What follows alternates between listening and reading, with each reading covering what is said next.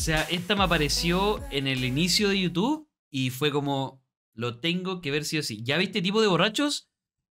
No estoy seguro, quizás, pero de- si, puedes, si podéis, déjamela en el Discord, porfa, que de ahí tomo todo lo que puedo. Es como lo que me sale en YouTube más lo que tengo en Discord. En el, hay un chat específico para dejar esos videos. Bueno, vi este video de Nicolas Cage. ¿Buen actor o mal actor?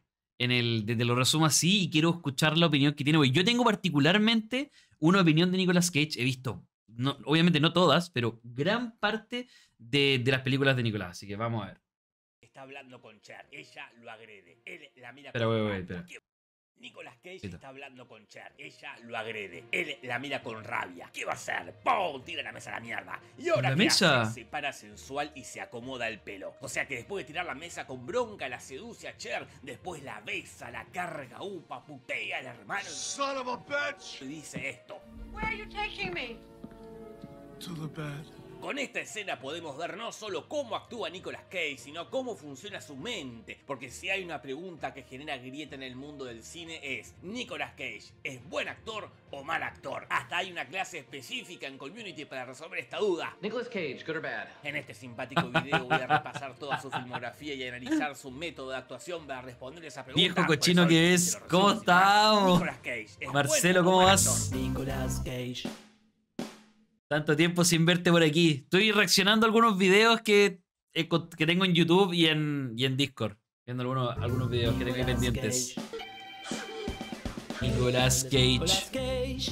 El que se cambia la cara es Nicolas Cage. Se cree vampiro. Las caras que ha hecho Nicolas Cage en la eternidad, además de ser memes, pero son súper cuáticas, weón. Este weón sí que tiene caras, po. Un ángel, un demonio y destruyó un avión. Él es Nicolas Cage. Nicolas Cage nació el 7 de enero de 1964 bajo el nombre de Nicolas Coppola, mismo apellido que Francis Ford, porque Francis Ford Coppola, director del Padrino, Apocalipsis Now, entre otras, es su tío. Pero Nicolas bueno. se cambió el apellido para demostrar que podía triunfar en Hollywood sin la ayuda que le podía brindar el contacto familiar. Spoiler, tres de las primeras películas que protagonizó fueron dirigidas por Francis Ford Coppola. Pero esa apenas fue el o sea, los, sus primeras tres películas fueron pituto. ¿Tú juegas Valorant? He jugado Valorant algunas veces, tengo hartos amigos que lo juegan, pero yo particularmente no lo juego mucho.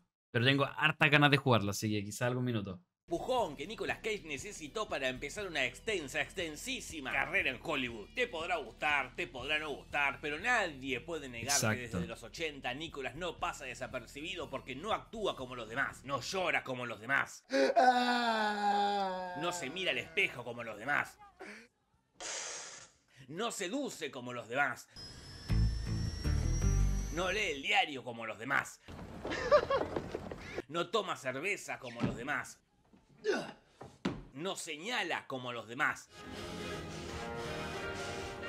No te da aliento como los demás. Creo que vamos como con una opinión súper similar. No Ahora, se pone los anteojos como los o sea, con, lo que, demás. con respecto a lo que está diciendo. No se saca los anteojos como los demás. Oh, God, it's been 30 Y no se ríe como los demás.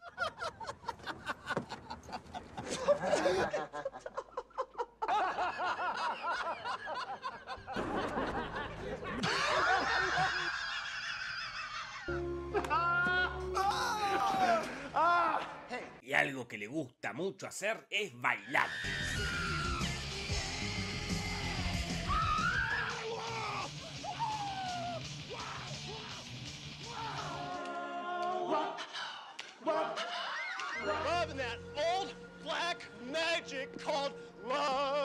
Love.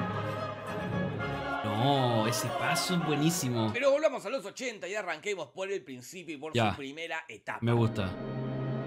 La experimentación, ¿ok? Hasta los 90. De los 81 a los 90, Su primer ¿ok? trabajo fue en un capítulo piloto de una serie llamada The Best of Time en 1981. El piloto no prosperó y no se hizo la serie, pero fue No. el debut tanto de Nicolas Cage como de Crispin Glover, que en un futuro sería conocido como George McFly. Después de eso, Nicolas fue parte de una película de picardías estudiantiles Mira. en 1982, pero este es el único frame donde aparece y fue acreditado como Nicolas Coppola. Y finalmente, en 1983 tiene su primer protagónico en la pantalla grande con Valley Girl. Y esta es su primera aparición. Oye, no, no tenía idea que te ibas de vacaciones. Hace, hace tiempo que no hablo con, con tu padre. Yo te lo recomiendo, iría a jugarlo conmigo. puede ser, puede ser que algún día juegue con, con gente que esté viendo el stream, me encantaría. Como, como te digo, le tengo harta gana al juego. ¿Y a dónde te vas de vacaciones? Cuéntame. Oh. Este es el primer protagónico que tiene. Oh, I'd go for that in a minute, for sure. He's hot. Oh, yeah, he's my kind of guy. Sí, Nicolas Cage iniciaba su carrera cinematográfica como un sex symbol hollywoodense. Durante sí. sus primeras películas siempre iban a encontrar una excusa para ponerlo semio en pelotas. Pero Nicolas no era solo un cuerpo bonito, no, tenía una necesidad de investigar en técnicas de actuación. Miren, por ejemplo, esta escena de Hechizo de Luna donde le explica a Cher que perdió su mano. I lost my hand! I lost my bride! Johnny has his hand! Johnny has his bride! You want me to take my heartbreak, put it away, and forget?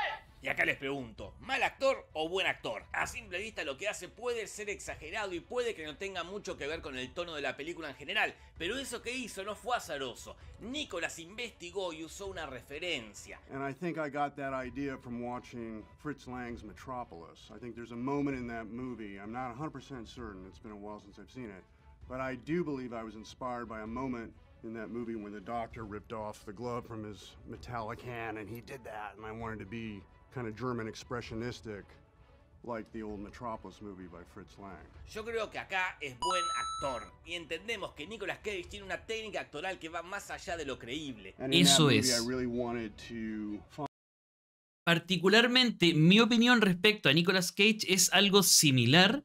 Creo que es muy especial para actuar. Se destaca radicalmente de lo que se podría considerar como la moda actoral. Por ejemplo, hay buenos actores que actúan bien y tú te das cuenta inmediatamente que están actuando bien. No sé, DiCaprio en El Lobo de Wall Street o muchos otros. Pero en el caso de Nicolas Cage, cuando actúa bien es como una especie de incomprendido.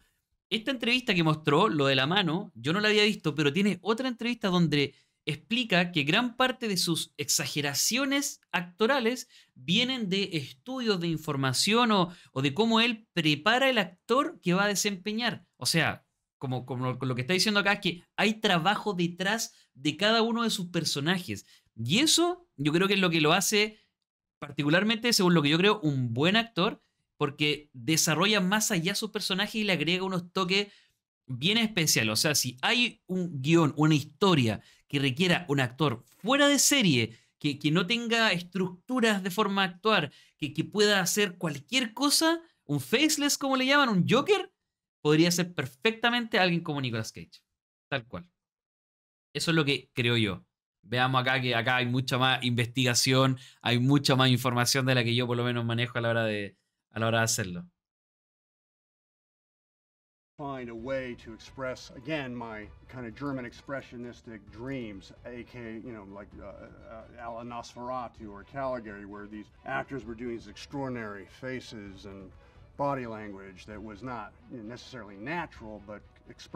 Y a esa técnica Claro. la vamos a llamar mega actuación. Mega importante expressionist- no es que sea expressionistic, verosímil, ¿cómo sino que genere Mega- algo. Y creo que su centro de poder está en el brazo. Miren acá en Will at Her cómo señala con intensidad. Y acá en El beso de la vampiro también. Y acá en Ghost Rider. En todas las películas va a encontrar un momento para señalar con intensidad. Como si esa fuese su forma de recargar su poder para la mega actuación. Entonces, haciendo una retrospectiva de su actuación en sus primeras películas, podemos ver que todo sí, estoy mirando el de chat, estoy mirando el chat, solo que estoy- de verdad quiero concentrarme en este video. De todos sus momentos en esta etapa, destaco este de la película Peggy Sue Got Married, Blah. Blah. Charlie? Blah, blah, blah. Blah, blah, blah, blah, blah. I want to suck your blood. porque acá aprovecha bien su técnica expresionista porque su personaje está pelotudeando con su novia. Lo mismo pasa en Racing Arizona porque la película acompaña a Nicolas Cage a tener un tono más caricaturesco. Pero a veces la película no acompaña y es ahí donde nos preguntamos, ¿mal actor o buen actor? En estos últimos casos mi respuesta es buen actor. Y si todo lo anterior fue una experimentación de la técnica mega actuación, en 1989 llegó su tesis con la película El beso del vampiro. Película beso del conocidísima vampiro. porque esta Sí. escena se hizo meme. Hizo I memes could esa escena, sí. horrible job if I wanted to. And you have to do it. You have to. Or I'll fire you. Do you understand? Y si acá nos preguntamos, ¿buen actor o mal actor? Eh, la respuesta siempre es mal actor. Eso es lo que pensó todo el mundo, pero lo pensaron porque vieron la escena fuera de contexto. Claro. Dentro del contexto está perfecto, porque el beso de la vampiro trata de un Nicolas Cage que cree que fue mordido por una mujer vampiro y poco a poco empieza a enloquecer. El tono de la película es una comedia absurda, como podemos ver acá cuando Nicolas entra a la casa y hay dos personas haciendo esto. Para mí, el trabajo que hace Súper importante lo que acaba de decir. Particularmente la historia de la película era una historia extraña, rara, donde él tenía que volverse loco, pero en realidad él, él- él se adaptó súper bien a lo que se quería para la película. Ahora, que la película sea interesante o no sea interesante es otra historia, es otra historia. Pero él se adaptó súper bien a lo que se requería en la película. Acá es maravilloso. Y otra de sus tesis sobre esta técnica y la última película de esta primera etapa es Wild at Heart, donde Nicholas encontró al director que más lo supo entender, el mismísimo David Lynch.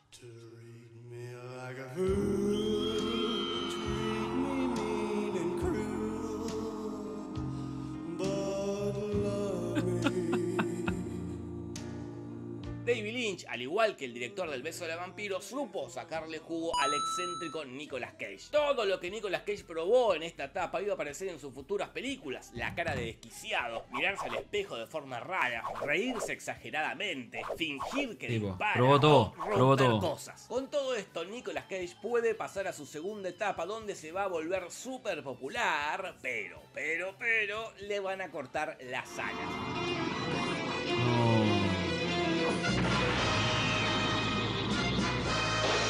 El ascenso del En esta 90 al película, Cage Va a 2002. interpretar todo tipo de personajes: un ladrón de autos, un policía, un militar, un mafioso, un ex convicto, otro ex convicto, a John Travolta y hasta un ángel. Y casi, casi que interpreta a Superman en una versión de Tim Burton, pero eso no prosperó. Igualmente, en el 2018, Nicholas hizo de Superman en Teen Titans Go to the Movies, aunque solo fue la voz, pero fue Superman. En fin, en los 90 Nicolas Cage fue súper popular, pero hay dos problemas. El primero es que casi todo actor o casi toda actriz se encasilla en un personaje que le queda cómodo y le resulta fácil de hacer. En Eso. el caso de Nicolas Cage, ese personaje es un tipo común que poco a poco va descendiendo en la locura o que directamente está del orto. Como podemos ver en Fireworks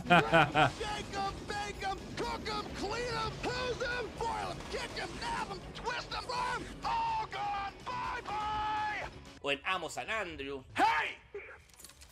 Don't talk to me about lying. o en Deadfall. And hothead, man. I'll show you a hothead. I don't want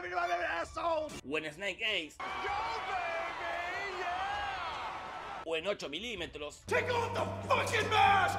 Y acá me vuelvo a preguntar, ¿mal actor o buen actor? Podría decir buen actor, pero en la película equivocada. Entonces, eso sería mal actor por no poder afinarse al tono general. Es como poner al abogado de Jim Carrey Claro. Mentiroso Mentiroso en Filadelfia. Algo así. Can you see the lesions on your face in this mirror from three feet away? Answering true.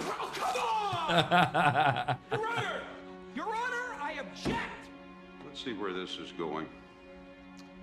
Continue, counselor. Good call. No, no, I, I can't, can't really see. Y el otro problema es cuando la experimentación solo es válida cuando las películas no son comerciales. Y ya para esta etapa, Nicolas Cage entró en el cine comercial donde no hay lugar para el margen de error. Las Claro. películas siguen una fórmula para que ganen en taquilla por lo menos el doble de lo que se invirtió. Y en esta fórmula no entra el Nicolas Cage experimentando su mega actuación. Por eso, en esta etapa vamos a ver un Nicolas Cage más medido. Pero aún así metió peliculones como Con Air, donde interpreta a un ex convicto Uf. que tiene que luchar contra unos maleantes que secuestran un avión. Buena Acá película. Nicolas afina perfectamente su tono y hasta se adapta al género. Why couldn't you put the bunny back in the box? Lo mismo en 60 segundos, donde interpreta a un ladrón de autos. Cop car. Uh huh. Long as I'm in here, you're just gonna sit out there, aren't you? I. Contracara, donde interpreta a un policía que tiene la cara de un terrorista. Acá se dio el gusto de mega actuar porque la película se lo permite. O sea, trata de un intercambio de caras. Ya de por sí es una premisa extravagante. Well, I think you better pull the trigger, because I don't give a fuck. Pero también está City of Angel, donde interpreta a un ángel. Un ángel Sí. que da un poco de miedo, a pesar de que no debería darlo porque es una comedia romántica. Acá creo que falló. Sí. How did you know my name? De hecho, me acuerdo que la- yo creo que la gran mayoría de películas que he visto de él fue de esta época. Y efectivamente, cuando hace esta del ángel, e- es bien rara, como media cringe, extraña. No, no, no, no, me, no me sentí a gusto con la película, la verdad. Esta fue como. What's yours? Durante toda esta etapa vamos a ver un Nicolas Cage con actuaciones medidas, simples, aunque cada tanto metía una de las suyas para no perder la costumbre.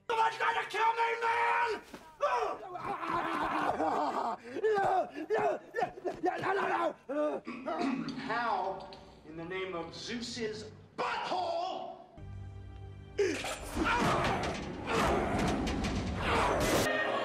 El weón es un loco.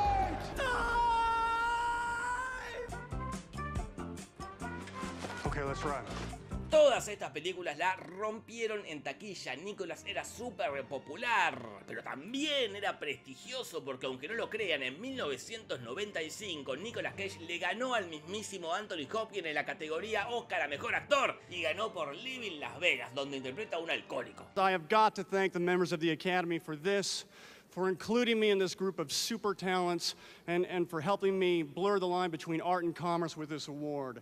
Y con esta película me pregunto, ¿buen actor o mal actor? Y la Oh. respuesta es excelente actor, porque el director supo manejar al Nicolas Cage excéntrico y amoldarlo tanto al personaje como al tono de la película.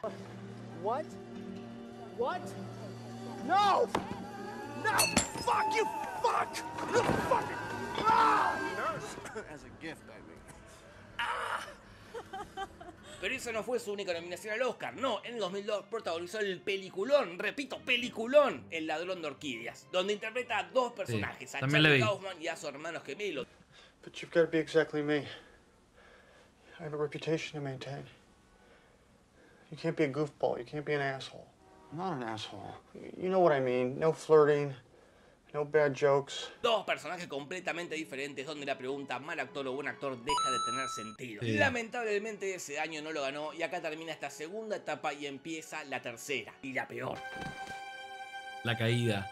The Downfall. Durante toda esta espantosa etapa, Nicolas Cage va a interpretar a diferentes personajes. Un policía, un guerrero medieval, un ex convicto, un tipo que puede ver el futuro, un tipo que escapa Sí. del infierno, un motoquero que le vendió El motoquero, sí, tenía el- factores desencadenaron la caída de Nicolas Cage. Primero, el aburrimiento. Como dije en sus últimas películas, a Nicolas le cortaron las alas y se vio limitado a hacer siempre lo mismo. Segundo, el Oscar. Le pasa a muchos actores que una vez que se ganan el Oscar se relajan y empiezan a decirle que sea cualquier película de mierda. Y tercero, sus problemas financieros. Por ejemplo, se gasta mucha guita en cómics. Una vez pagó 150 mil dólares en un ejemplar de Superman. Tuvo 15 mansiones, dos castillos de 10 millones de dólares cada uno, una isla, colecciona autos, tiene cuatro yates, se gastó 100 mil dólares en un pulpo y también tiene un tiburón. 300 mil dólares se gastó en el cráneo de un dinosaurio y se gastó un montón de guita en una tumba en forma de pirámide que puso en su cementerio favorito. ¿Qué es lo raro de eso? ¿La tumba? No, lo raro es que tenga un cementerio favorito. ¿Quién tiene un cementerio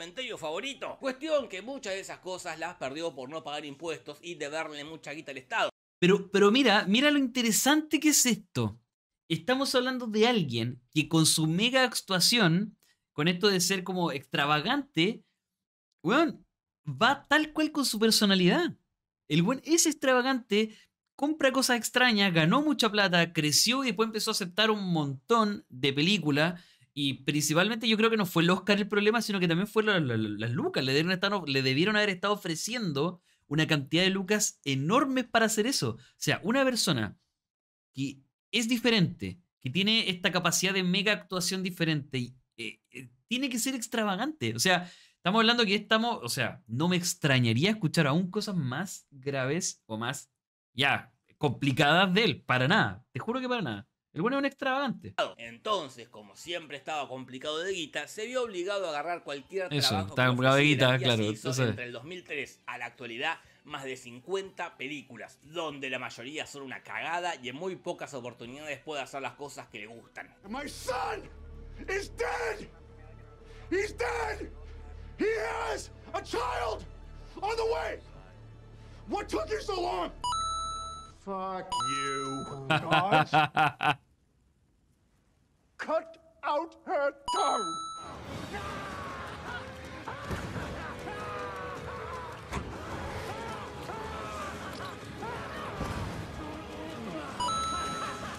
Not of this earth.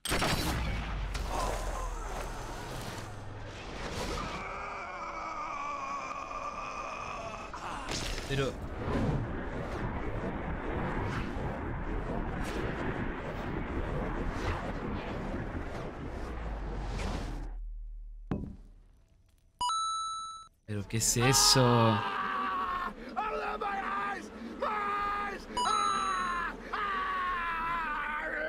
Me? Or warrior? He jumped over three linebackers in midair. He sprouted antlers. Like a gazelle? like an elk? he landed again, he ran, ran, ran. He scored a touchdown! Oye, una barbaridad la diferencia entre esos efectos 10 de 10, sí. Lo de la abeja y lo del otro compadre, ya, pero pasadísimo. Em, una diferencia actoral, pero ya así. O sea, de, de ganarle el Oscar a Anthony Hopkins a esto, weón, qué chucha. Mal actor o buen actor, bueno, según sus películas de esta tercera etapa, definitivamente es un mal actor. Y probablemente mucha gente lo conozca solo por esta etapa y por eso lo considera malo. Y la verdad, ah, tienen razón. Yo justo lo conozco por la etapa Igual anterior. De todas estas está. 50 películas que hizo en este periodo destaco dos: Lord of War y Kick-Ass. Acá sí, acá me parece que digo Weón, Lord of War, buenísima, buenísima. Te juro, bueno, muy buena película. Cage, gran Yo- actor. Ya lo Sí. vimos en varias biografías que hice que todos los actores tienen su momento de caída, pero muy pocos tienen su resurgimiento y Nicolas Cage lo tiene y así pasamos a la última etapa de su carrera. El renacer de Nicolas Cage. Vamos, la etapa 4, del 17 al 22.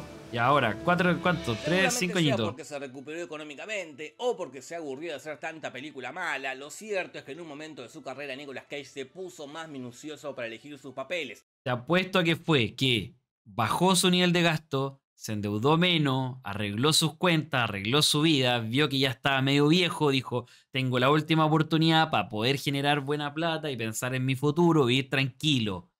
Por eso fue. Él mismo dijo que se bajó de la maquinaria de Hollywood porque ahí no hay espacio para la experimentación. ¿Tuvo que hacer 50 películas de mierda para darse cuenta de eso?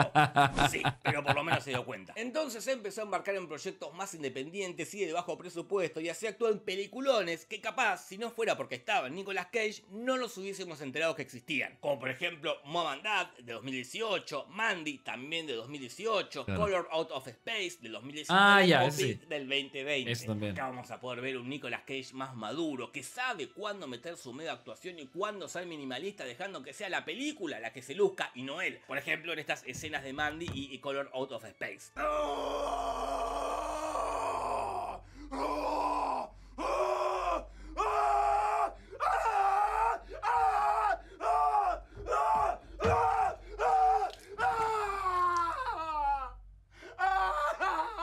Este era el Nicolas Cage de antes, po. Destartalado. fucking rule in the book. In the end, they still fucking taste like shit. You know what?